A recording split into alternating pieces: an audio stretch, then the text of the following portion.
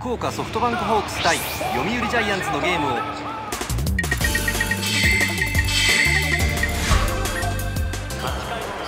回の裏7番から始まるホークスの攻撃。森がバッターボックスに入ります。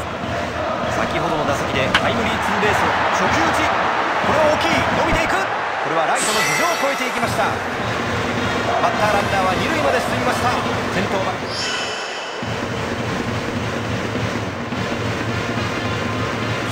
何から入ってくるか。打ちました痛烈な打球。入れましたファウルボール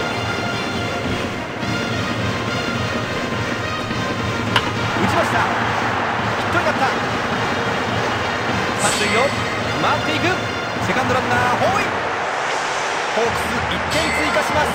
10対9番バッター牧原。先ほどの打席でタイムリーツーベースを放っています。